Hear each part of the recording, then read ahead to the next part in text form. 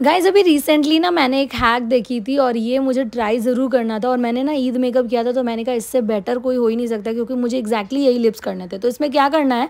एक ब्राउन आपको lips lip liner लेना और अपने लिप को लाइन करना है। थोड़ा सा अगर आपके लिप्स मोटे नहीं है ना तो आप थोड़ा क्यूबिट बो को ओवर लाइन कर सकते हो। नीचे वाले को नहीं, ऊपर वाले क्यूबिट बो ऊपर वाले को कहते हैं, जो वी शेप होता है। इसके बाद आपको क्या करना है? एक ड्राई मतलब जो हाईलाइटर होता है लिक्विड वाला नहीं, उसको आपको अप्लाई करना है और उसके ऊपर आपको ना ट्रांसपेरेंट ग्लॉस लगा देना है। बस, यही आपको करना है। एंड इसके आप बाद जब ब्लेंड करोगे तो कुछ इस तरह का लुक आता है। ज़रूर बताना, ये हैक आप ट्राई करोगे क्या? मुझे तो बहुत पसंद आया।